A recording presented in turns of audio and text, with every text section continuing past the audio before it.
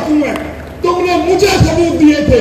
मुझे वीडियो दिखाई थी मैं कहूँ, मुझे इनकी इन्वेस्टिगेशन की वीडियो दिखाई है। मोहित भाई, देखा है ना? पढ़िए आपने फाइलें? आपने भी पढ़ी है? हमें फाइलें इन्होंने पढ़ाई हैं। हमें वीडियो दिखाई है।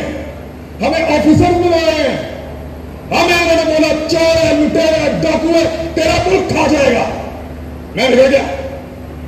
मैंने कहा नहीं खाने दूँगा, मैं उस लड़ाई में उतरा, अपनी मर्ज़ी से, लड़ाई छोड़ के जाऊँगा अपनी मर्ज़ी से। किसी को बात लड़ाई से नहीं निकाला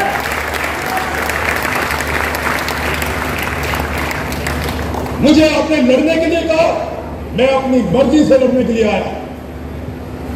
मैंने पहले अपने आप को ट्राई किया कि मैं लड़ूँगा इस लड़ाई को। आप इस लड़ाई को छोड़कर चले गए। दी आपने लड़ाई। कल वो चोर थे, डाकू थे, आज ऐसे नहीं हो सकता। नहीं मानेंगे। दिल नहीं मानता। जवाब देना पड़ेगा। जवाब मांगेंगे। सवाल करेंगे। क्योंकि पहली मर्तबा आपको टक्कर के लोग मिले हैं।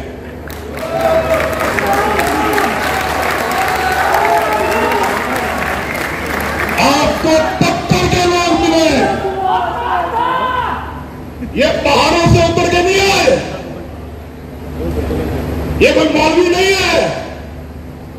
ये कोई हुआ तबका भी नहीं है।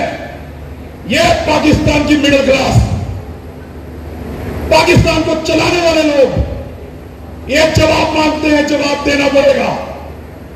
आप लड़ाई छोड़कर गए हैं। मैं क्यों छोड़ू मेरी लड़ाई में लड़ूँगा।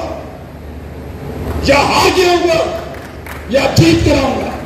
लड़ाई पूरी लड़ूँगा।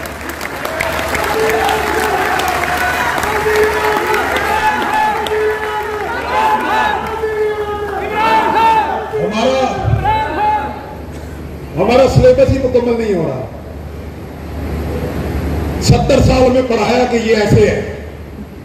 अल्लाह अल्लाह करके नलायक लोग हैं हमने अल्लाह अल्लाह करके वो सबक याद किया, वो सिलेबस बदल दिया। अब कहते हैं, ऐसे नहीं है, वो ऐसे है। यार कोई एक सिलेबस बना दो, एक क्रिकुलम रख लो, इस मुल्क का मुल्क चल जाए। हर थोड़े अरसे के बाद आप कोई चैप्टर नया शामिल कर देते हैं। हर थोड़े अरसे के बाद वो गद्दार था अब वो हुक्म बदल है अब तुम गद्दार हो इधर तकलीफ़ होती है खुदा की कसम। कोई एफ़ आई आर दे दो यार, कत्ल की दे दो, डकैती की दे दो, गद्दारी की तो ना दो। गद्दारी की एफ़ आई आर गद्दार बोलो। गद्दार है। बुलाओ पंचायत।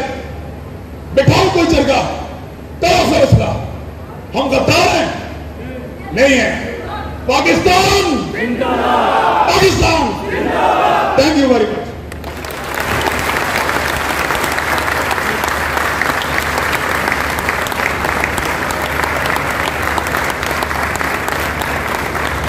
अब हम अपने प्रोग्राम को आगे बढ़ाते हुए अगले मुकर जनाब जनरल रिटायर्ड खालद नईम लोधी साहब।